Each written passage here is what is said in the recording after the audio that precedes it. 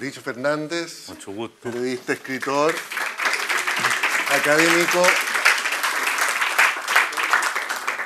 académico, eh, hablando de democracia justamente en la Universidad Diego Portales. Eh, un par de datos sobre la película, está cumpliendo 40 años, la verdad que se, se mantiene eh, muy vigente, lamentablemente, y, y su realización es bastante soporta bien el paso del tiempo, la realización del, director Michael Radford, que 10 años después estuvo nominado al Oscar por una película relacionada con Chile, El cartero de Neruda, la, la película del Postino que tuvo tanto éxito. Esto fue en 1994. Y esta fue la última película de este gran actor británico, del gran actor británico Richard Barton, ¿no? que la verdad que la actuación es formidable, más allá de la felonía del personaje. Eh, Pato, eh, una película eh, y el libro reflejan los temores del siglo XX, ¿no? De, inspirado, eh, George Orwell se inspiró en, lo que pasaba en la Unión Soviética, evidentemente, en el estalinismo. En- ¿Cómo, ¿Cómo ves eso en la perspectiva de 40, a 40 años de la película y, y con, esta visión de la dictadura totalitaria del siglo XX? Bueno, buenas tardes. Eh, ¿A quién le diría esa última frase, eh, te amo? ah? Ese último, ¿a quién está dirigido? Porque de, de eso depende si esto termina en el espanto total o en una esperanza. Eh, eh, a ver, yo creo que la película y el libro, contextualicémoslo también, cumple... Es interesante conversar ahora de esto, porque el libro es del año 49. O sea, digamos, Orwell ve, este, este es un sueño o una, una, una especulación respecto a lo que sucedería 40 años después de lo que él estaba escribiendo. La película es del año 84, o sea, nace en el momento en que esto eh, estaría sucediendo y más o menos todavía quedaban cosas de esto, porque estábamos en la Guerra Fría. Y hoy día estamos 40 años después viéndola hacia atrás. Eh, yo creo que esto hace un juego interesante, digamos, mm, entre distintos cierto. momentos, entre el libro, la historia, su realización filmográfica y el momento en que estamos conversando. Yo creo, René, que esto es una, eh, es una pesadilla que va más allá de un tiempo, pero que tiene una realización temporal en esta película. O sea, la idea orwelliana del control, la idea de lo totalitario, que efectivamente aquí está mostrado en un imaginario eh, del siglo XX, o sea, en un imaginario donde todo ese control está dado por las ideologías que entonces estaban en pugna. Orwell era un socialista democrático que fue de los primeros, fue de los más valientes que desde la izquierda, después de ir a pelear en la Guerra Civil Española, eh, después de, ser, eh, de estar en las listas de buscados eh, por el- como miembros como comunistas en, en- en Inglaterra, eh, critica internamente lo que pasaba en el estalinismo. Aquí hay de estalinismo y de nazismo de alguna manera, pero más presente efectivamente el- el lo primero. Eh, pero es, de, es del siglo XX porque desde ya aquí yo creo que hay que tener en consideración una cosa. Esto está sucediendo antes de que apareciera la Internet. Estamos todavía en, la época, en los últimos estertores de la época industrial. la, y anterior a la caída del Imperio Soviético que viene poquísimos años después, algo así como eh, cinco años después.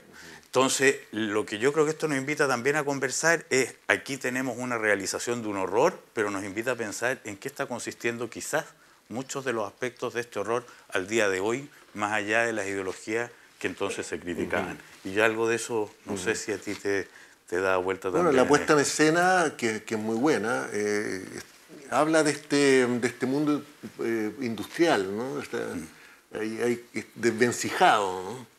Este, este, este mundo donde está todo como oxidado, ¿no? y se mantienen, pero se mantienen estas diferencias sociales muy marcadas.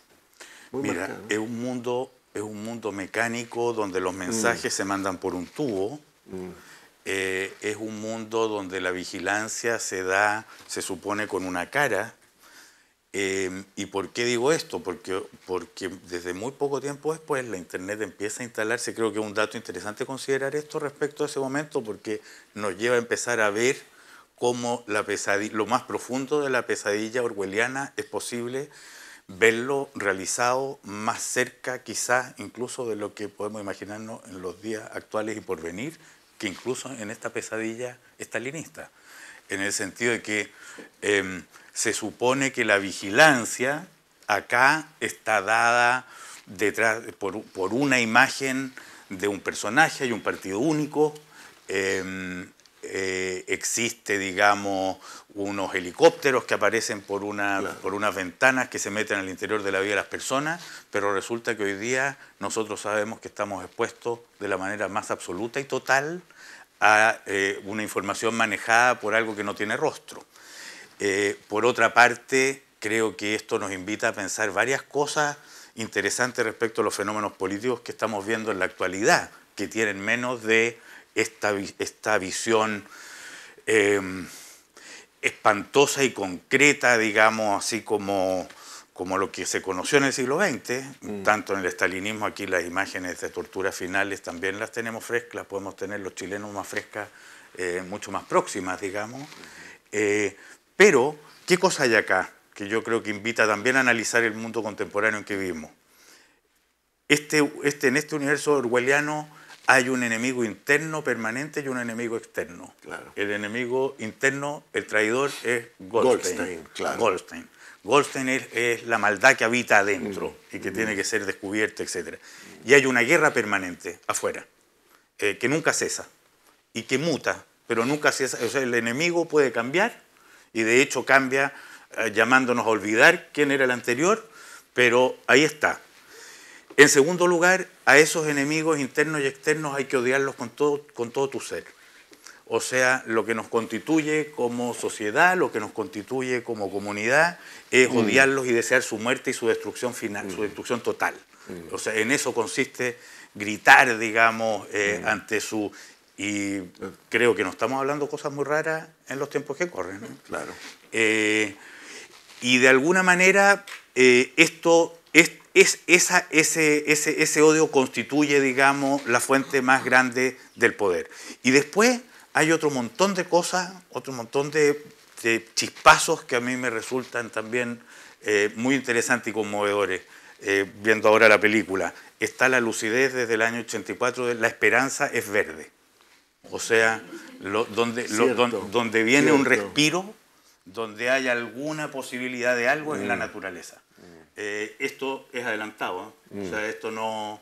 Todavía, todavía en esos tiempos no había muchos ecologistas militantes fuertes. En Chile yo creo que el mm. único era Nicanor Parra. Mm. Eh, y Orrego, por ahí ya vimos un grupito mío. ah, Orrego, Juan Pedro. Claro. Pero em, ahí hay como una, una luz. Después lo otro que me llamó la atención, para decir también chispazo, em, el valor de, de los anticuarios el valor de los cachureos, mm. de las ferias de las pulgas, algo que por no sé, a mí me, convoca, mm. esa cosa de ir a buscar un no sabe bien por qué, porquerías, digamos.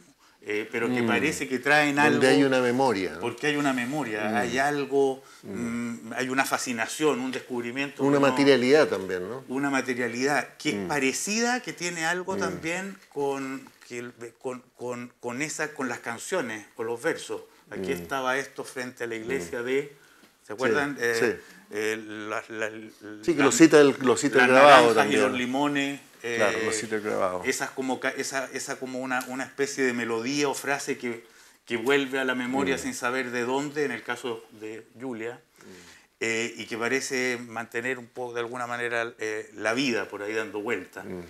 Em, yo creo que invita, invita, o sea, hay, hay por eso una puesta en escena del siglo XX, de un horror, que, lo conocimos más o menos dependiendo de la edad de los que habitamos, pero hay una preocupación y una pesadilla completamente presente y que merece ver muy atentamente las transformaciones en sus manifestaciones. Sí, hay un punto que, llama la atención hoy día, que es la preocupación por, cambiar las palabras, ¿no? Por, por, el léxico, como por la reconstrucción de la realidad pasa por, por, por recomponer el, la sintaxis, porque ya no era solo el alfabeto, ¿no? Es como... El que maneja el lenguaje es el que tiene el poder. Mm. Em, y, una sociedad nueva, se, desprende de la película, requiere una, nueva, manera de comunicarse. ¿no? Y darle un nuevo sentido, sino a las mismas palabras. Mm. O sea, eh, aquí está, eh, eh, está, ¿cómo se llama? La, las comisiones, está la de la verdad. Sí, pues el Ministerio de la, Verdad, donde se supone que está bajo, claro. El Ministerio de la Verdad, que maneja la mentira. Mm. El Ministerio del Amor, que maneja el odio. Eh, y el Ministerio de la Abundancia, creo que el otro, mm. que maneja en el fondo el hambre. Em, quiero seguir con los paralelos posibles a ver hoy día, para no quedarnos pegados con eso. Palabras justamente, bueno, ya entonces, ¿eh? palabras mm. como democracia, se manipulan y se usan de las maneras más insólitas. En la época de esta película, la Alemania democrática era la Alemania eh, totalitaria, digamos, del otro lado del muro. Eh, esta misma palabra, detrás de esta misma palabra, hoy día habitan o se esconden muchos de los destructores de la democracia. Eh, o sea, hoy día ya no, no sé, y esto tiene que ver con lo, que tú decías, ¿eh? con el manejo de las palabras. Mm, o sea, mm. por preguntarse qué significan las palabras, mm. o en lugar de simplemente aceptar sus usos impuestos de las maneras más misteriosas, Em, hoy día más misteriosas, entonces a veces eh, sencillamente más poderosas, es un gran, gran reto. Quiero seguir con los paralelos. Eh, acá la verdad se impone a punta, la verdad, lo que ellos quieren hacer creer como verdad, se impone a punta de tortura, a punta de, pues. fuerza, de fuerza bruta. Hoy día, y a ver otro ejemplo, el mismo Winston trabaja cambiando la verdad. ¿Cómo se maneja hoy día la verdad? Mm. Eh, hoy día, por ejemplo, es bastante impensable en la censura a la usanza de ese siglo XX, en el sentido de que hoy día cerrar un diario es absurdo. A Donald Trump nunca se le hubiera ocurrido cerrar el New York Times. Mm. En cambio, llegó durante su gobierno a emitir hasta 200 mentiras mensuales contradiciendo lo que decía la prensa eh, oficial. O sea, hoy día hay nuevas herramientas para hacer ese trabajo con la verdad. Eh, y, estoy hablando de algo que, de frases que a todos nos darán vueltas todo el rato, que son las fake news. O sea, em, eh, a mí me pasó viendo la película que no solo me llevó al horror de lo que fueron los totalitarismos del siglo XX, viendo esta película de alguna manera me llevó al temor de lo que pueden ser las nuevas estrategias totalitarias del siglo XXI. Y hay datos reveladores, por ejemplo, Elon Musk paga 44 mil millones de dólares, 44 billones de dólares, que es una cantidad inimaginable, por Twitter. Y ahora se vende Paramount, los estudios Paramount, se han leído ahí, están a la venta, que son los dueños del canal Chilevisión en Chile por una curiosidad y que venden, se venden completos, se venden con, Paramount lleva 100 años haciendo películas, se venden con todas sus películas, con los estudios, con, con los canales de televisión, con los canales de cable, en 8 mil millones.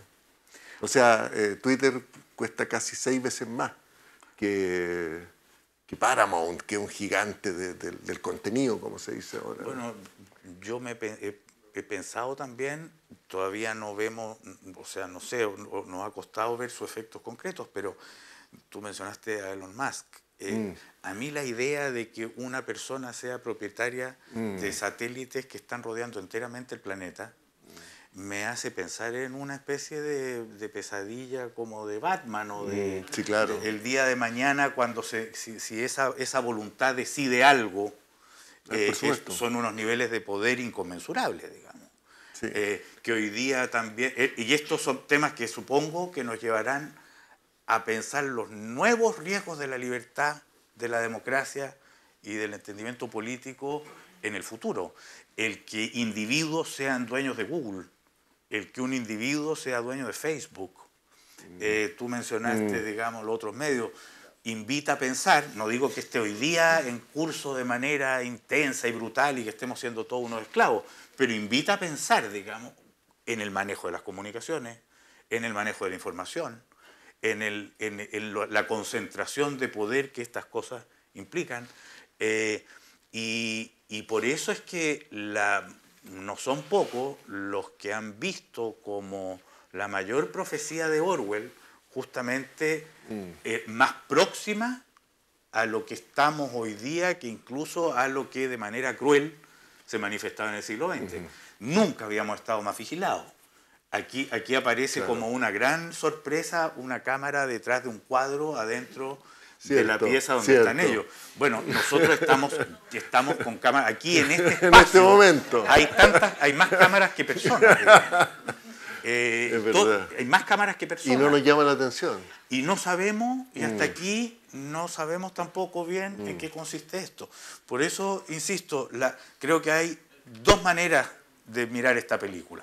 Mm. Eh, o por lo menos, bueno, habrán mil, pero, pero dos grandes que noto yo, digamos. Una es el horror que significaron los totalitarismos en el siglo XX. Eh, la dimensión de ese espanto.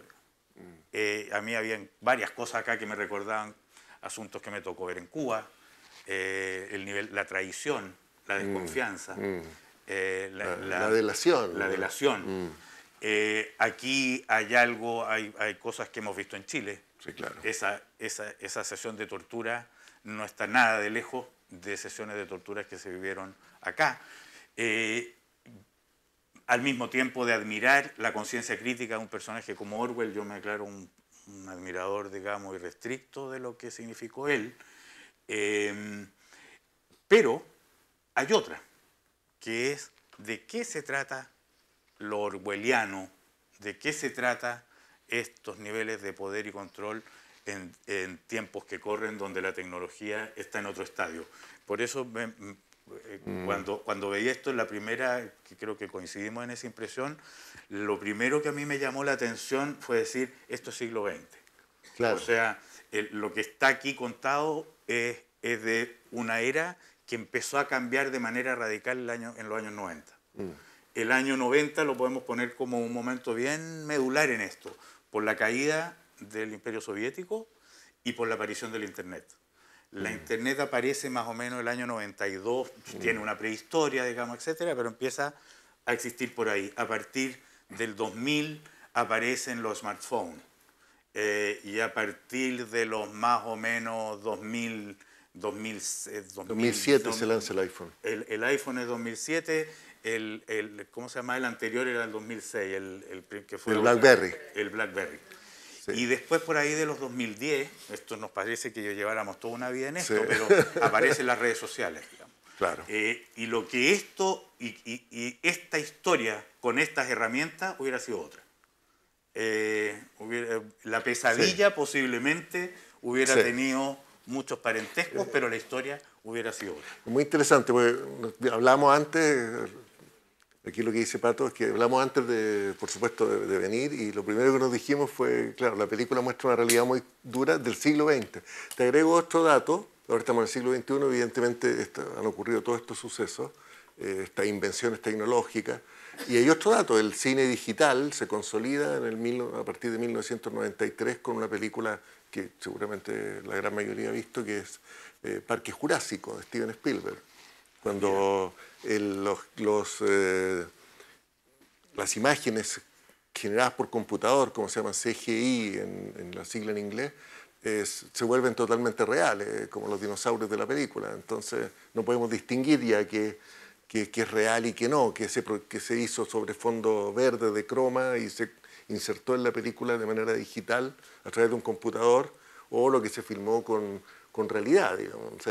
Eh, se empieza a producir eso. Y a diferencia de lo que pasa en la película, donde todo es muy doloroso y, el personaje de Richard Barton hace esta, esta apología siniestra del dolor, ¿no? Mm. como, la, como la expresión, del, la herramienta del poder, como mm. para, ejercer, para ejercer el poder hay que ejercer este dolor, lo dice textual, eh, literalmente. Hoy vivimos en un mundo mucho más vigilado y más indoloro, ¿no? O sea, que, y, concepto, y, más, y un concepto de libertad Em, en que nos sentimos más libres. Creemos, por lo menos. que, por eso te digo, creemos que somos más libres, al mismo tiempo estamos más vigilados y se habla de China como una dictadura digital, ¿no? porque está lleno de cámaras que te vigilan por todos lados. Hay un artista chino que hizo una, una performance de eh, grabarse solo en los lugares donde las cámaras no, no te graban en, en Beijing. Una cosa bien, muy impresionante, que son poquísimos, ¿no? Y él lo identificó y todo, y el reconocimiento facial, que nosotros aceptamos hoy día y que eh, va atenta totalmente contra, contra nuestra libertad, finalmente. Por eso es que quizá pero lo hacemos felices, a eso me refiero. Y, yo por ese lado también andaba cuando, cuando decía que ver la película, aparte del espanto con lo que fueron las versiones más, em, más controladoras y opresivas del siglo XX, llevaba a esta reflexión mm. justamente de cómo es que esto se da hoy. Porque eh, en el caso del siglo XX, esas técnicas de dominio son evidentes. Eh, o sea, mm. son, cuando digo son evidentes, eh, son, em, eh, se, se, revelan con mucha facilidad una vez que tú te pones afuera de alguna manera. Ahora es como que no hubiera ese afuera. Mm, o mm. sea, no hay, no hay la posibilidad de salirse de, de una cierta tecnología Em, tecnología que nos deja muy pocos rincones de mm, pues. privacidad, muy pocos rincones, eh, muy pocos de esos, de esos espacios. Em, sí, pues hay un reality que se llama Gran Hermano. bueno, y, crecientemente cuando vemos los reality, yo no los veo, digamos, para ser bien honesto, pero alguna vez los vi, pero eh, si, la idea de, esa, de, eso, que, entiendo en el mm. Canal 13 hay uno todas las mm, noches, eh, crecientemente también invitan a pensar en el reality en que habitamos todos.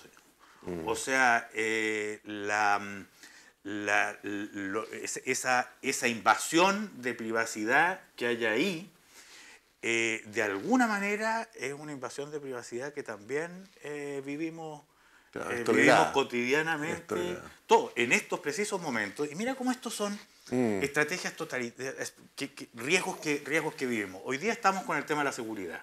Mm. Eh, es como que no hubiera prácticamente otro. Mm. La, la, acabo de ver una encuesta, por ejemplo, eh, de, de, cuáles son las comunas que más invierten en seguridad y en qué invierten.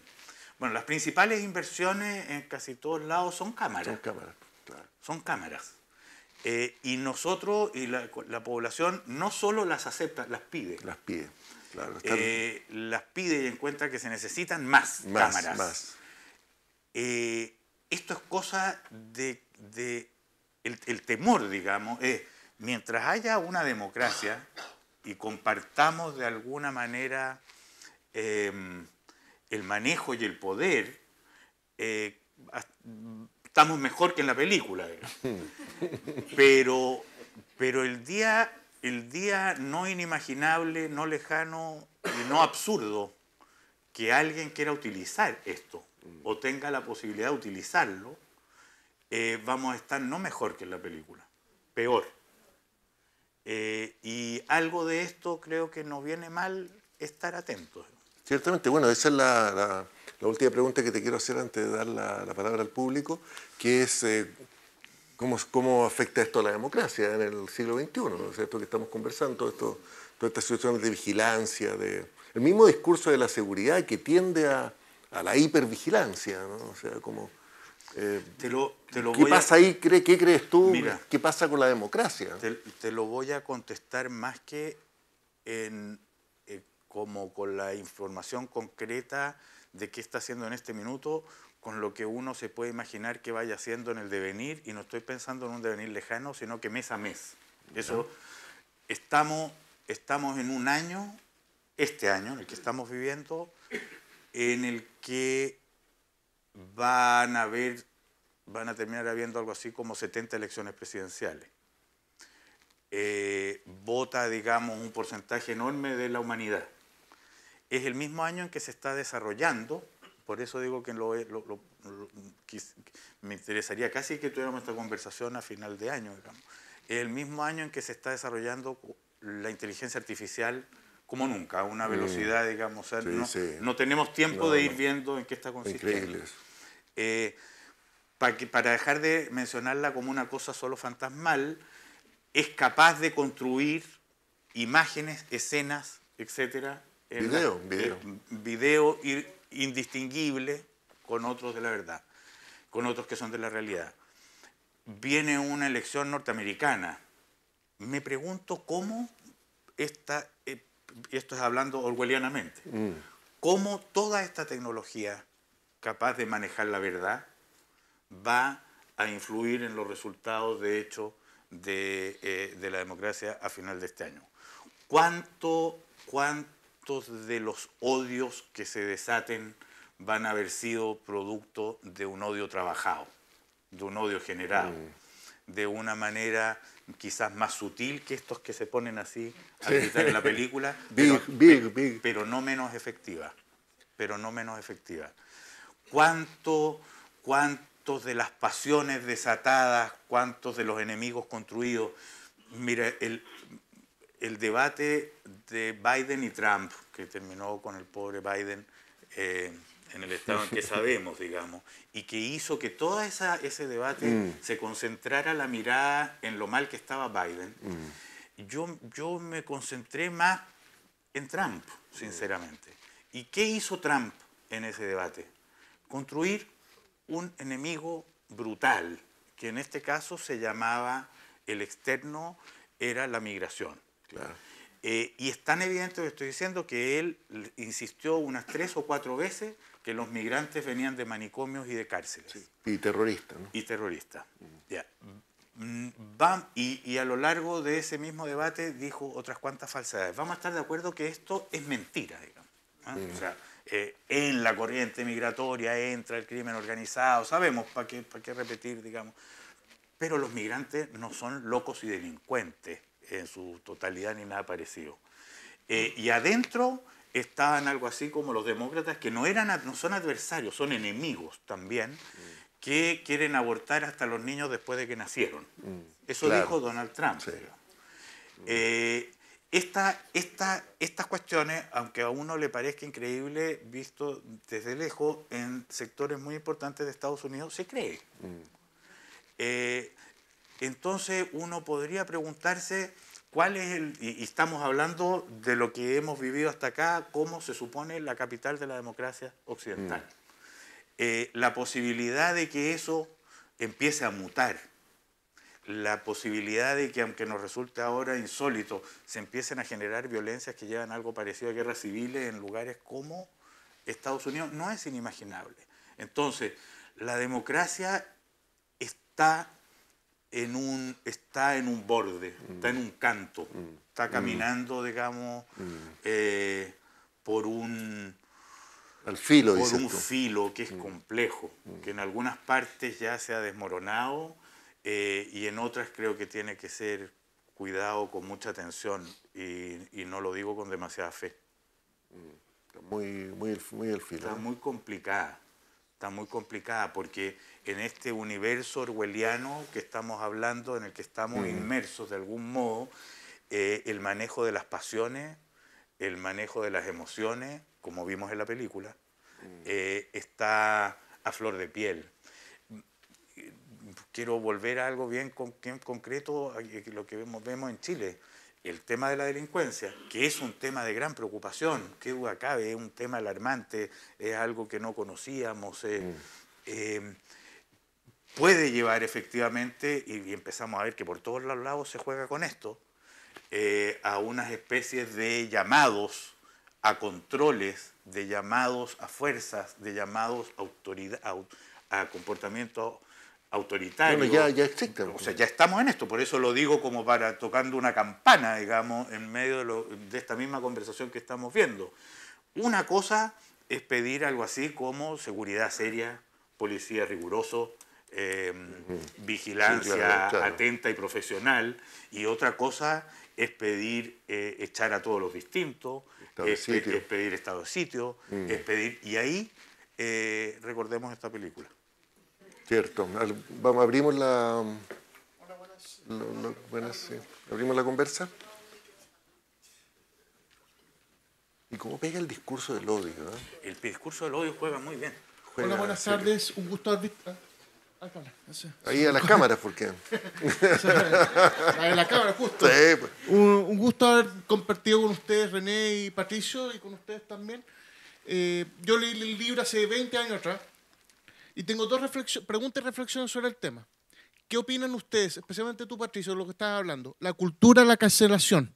Por ejemplo, lo que le pasó a Quique Neira sobre, que, sobre la reflexión del estallido social que se arrepintió y lo cancelaron igual. A mí me pasó lo mismo el jueves pasado sobre una reflexión sobre la pobreza y me trataban de todo hasta la hoy día en la mañana. Y otra cosa, la otra reflexión sobre hace, lo que pasó el viernes pasado, la inteligencia artificial, que digamos la- la- lo que pasó sobre los, carne- lo- las- los pagos electrónicos y los aeropuertos, que también se vio en otra película que se llama Terminator, era justo hace 40 años atrás. También 40 ¿Qué años piensan de eso? Terminator. ¿Qué piensan de eso? Muchas gracias. O Gracias. sea, tu pre- tu pregunta es otra cara de lo mismo que estábamos de alguna manera que uno quería plantear. La cancelación es justamente otra manifestación brutal de lo que estamos diciendo. O sea, es un, es un modo en que las olas, olas sociales se, em, se retroalimentan pasionalmente para despreciar todo eso que no entra en su corriente. Eh, y, y son, e- es, otra, es, es otra estupenda, digamos, ejemplo de los riesgos de las, de las nuevas maneras en que esa pasión odiosa que vimos en esta película se manifiesta en los tiempos que corren. Eh, cuando lo distinto aparece inaceptable. Y creo que aquí el tema de la cancelación, una vez más, como en todas estas cuestiones, creo que hay que invitar a tomar a veces alguna distancia. No se llama un sector político, se manifestó en Chile en, esta, en esa versión en una, en una órbita política. Pero eh, se pasa con todo entusiasmo, digamos, a una distinta cuando cambia la frecuencia. Entonces, por eso es que acá hay una, eh, creo que si uno quiere ver esto en su globalidad, tiene el reto de no verlo en un lado, sino de ver el peligro, de, el, el peligro que, que esto implica en cualquier versión, digamos, de, la política y de la cultura. Y las redes sociales tienen el poder de amplificarlo todo, porque en el tiempo de 1984, o sea, hace 40 años, eh, uno hacía un comentario, eh, se quedaba en el entorno privado, a, a menos que uno lo escribiera en un medio, digamos, o lo comentaran en la televisión o la radio, pero eh, eran, eran comentarios privados. Oye, no me gustó lo que dijo Quique Neira. Ya, no, no estoy de acuerdo. O sea, ok, puede ser. Pero, pero ahora, claro, ahora yo puedo insultar directamente a Quique Neira en las redes sociales y puedo generar una, una ola de, de emoción, en- puedo contribuir, digamos, a generar una ola de emoción en su contra. Tenemos otra, hay, no hay nada. otra no hay- pregunta. no hay na- Ah, la inteligencia artificial, ya. Ah, la- que- Bueno, pero Terminator es la inteligencia artificial que ganaron la guerra contra los humanos o están en plena guerra contra los humanos en el futuro. Puede ser, puede ser. A este paso. O el computador de 2001. Hola. Hola, eh, tengo una experiencia, bueno, puedo responderle alguna de las preguntas, no sé si de adelante hacia atrás, atrás hacia adelante, pero en 1984 yo tenía 14 años, eh, saliendo, bueno, en gobierno militar, ahí uno cuando hablaba de cualquier cosa que tuviera que ver con política, y yo lo hacía muy seguido, eh, la gente en la calle se quedaba en, en silencio, en las micros, había un miedo tremendo. Se te acercaban y te decían, hoy ten cuidado, te pueden llevar preso. Yo tenía 14 años, 13, 14 años. ¿ya? En ese tiempo me alimentaba de películas como la Fahrenheit 451 de François Truffaut, sí. claro. Eh, había visto 1984, más tarde, o sea, Metrópolis, o sea, era- estaba metido en todo eso. más tarde vi caer el muro de Berlín. Tuve la suerte de conocer a una chica eh, aproximadamente de mi edad que, que vivía en Alemania Occidental, o sea, en Alemania Democrática. Y me contaba que para ellos fue una sorpresa enorme la caída del muro, porque ellos pensaban que iban ganando, de verdad. Ah, claro, que tenía el Ministerio de la Verdad ahí también. Sí, claro, y Claro, ellos pensaban que y ellos pensaban que el capitalismo eh, había traicionado a su gente y que la promesa de que la riqueza se distribuía de forma equitativa era mentira y que habían grandes concentraciones de riqueza, lo cual es una tremenda mentira. Cierto. ¿Tiene alguna pregunta en específico? Quería contestarle una pregunta a él respecto a las inteligencias artificiales. El 19 fue una caída de un parche, pero yo he trabajado eh, haciendo, ¿cómo se llama esto? Análisis de imágenes en cámaras de video desde hace unos 10 años y la inteligencia artificial se usa para ver eh, intenciones de compra. No voy a decir en qué tienda, pero eh, se nos pedía que hiciéramos análisis de las personas que entraban, wifi gratis, con la wifi tú detectabas el celular, con la cámara sabías quién era, vigilabas dónde miraba y de esa manera sabías cuáles eran sus intenciones de compra. Y en China actualmente se usa para hacer una calificación de las personas es decir, si cruzan bien la calle, las cosas que comentan, porque te dan una calificación ciudadana. O sea, no estamos para nada lejos de 1984. ¿Ya? Y perdón, eso era lo que quería comentar. Muy bien, muchas gracias. La, pandemia también contribuyó a, a normalizar la vigilancia digital, ¿no? Mira, la pandemia... El reconocimiento facial, en, los, en, los, centros comerciales te identificaban si tenías COVID o no. La pandemia, cuando la, cuando la veamos, yo creo, más adelante, tuvo un asunto que, que es una, yo creo que es una data histórica, eh, incorporó el Zoom. Mm. Yo nunca había hecho un Zoom antes de la pandemia eh, y creo que eso le, le, pasa a la inmensa mayoría. O sea, a partir de ese tiempo empezamos a, comunicarnos de manera virtual por cara, eh, por imagen y sonido. Eso es un, yo encuentro que es una, un antes y un después.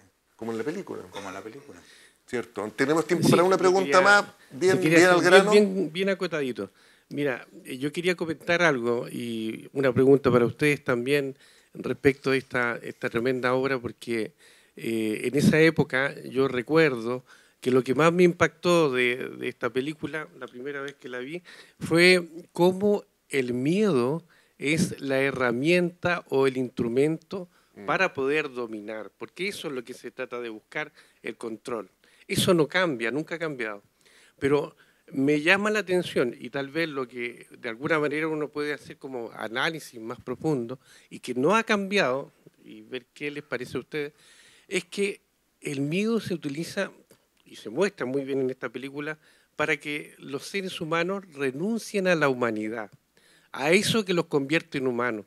Y tal vez, y esa es mi opinión, y por eso quiero preguntarle a ustedes si la comparten, que es como el elemento común a través de la historia y a través de todos los eh, suelos, territorios, contextos. El miedo, eh, esta habitación 101 es lo que estamos analizando ahora tal vez tenemos tecnología, tenemos como otras posibilidades de mostrar este miedo, pero el elemento común que desarrolla Orwell es precisamente que esto lo que busca es que los seres humanos dejen de ser humanos y renuncien a lo que los define como tal, como la libertad, como ahora la intimidad, que es el, como la nueva forma de libertad. O sea, hoy día está pasando algo muy curioso, y es que todo lo eh, digámoslo de alguna manera, lo privado está dejando de existir. Es más, se está convirtiendo en un bien de valor. Si yo quiero conservar eso tan íntimo como lo privado, lo íntimo mío, tengo que pagar. Y bueno, si no pago, tengo que renunciar a eso y me convierto como...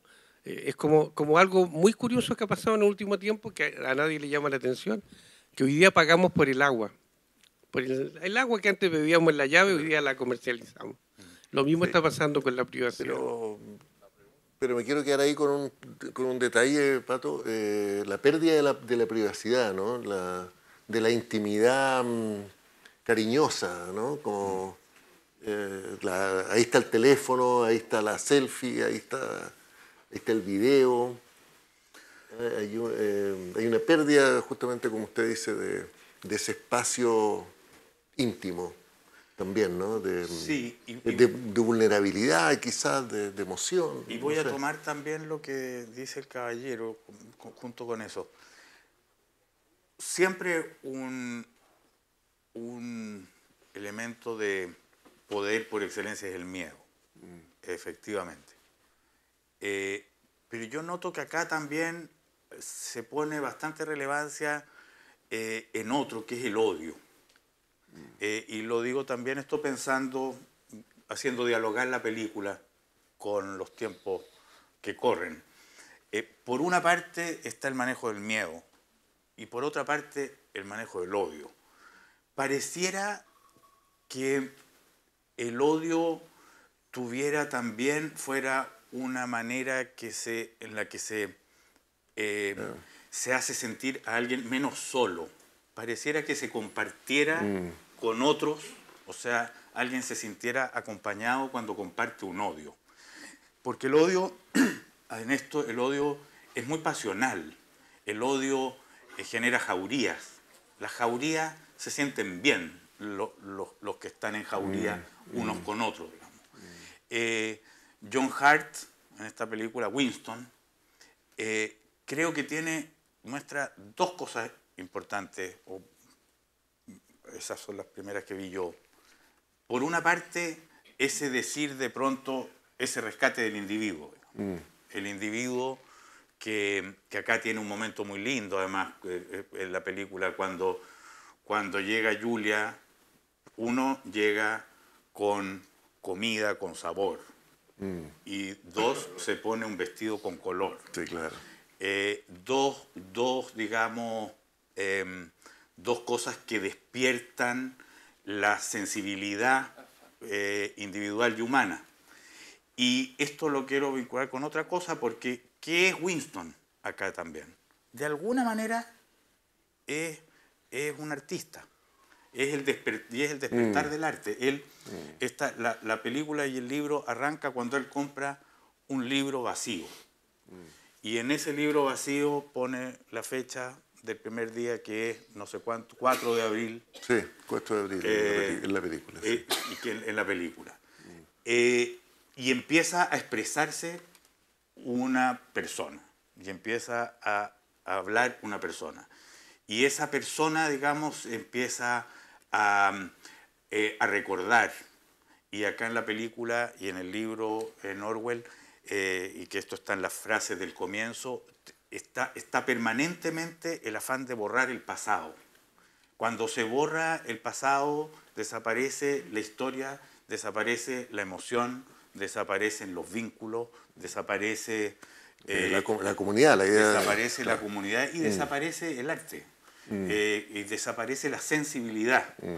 Eh, acá el gran rescate, eh, también lo que mantiene vivo esa, esa, esa alma humana, esa, esa esencia en esto, es también de alguna manera el arte. Y eso era lo que decía también cuando, cuando aquí tiene esta, tiene esta presencia, estas naranjas y limones mm. que suenan en la iglesia de San Clemens.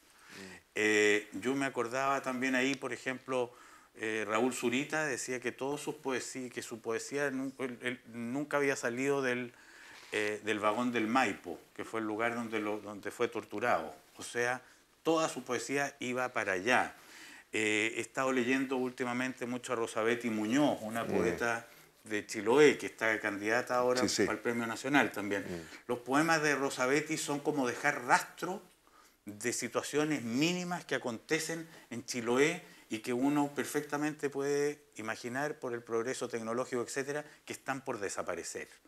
Y es como, es como dejar sonando las naranjas y los limones de San Clemens.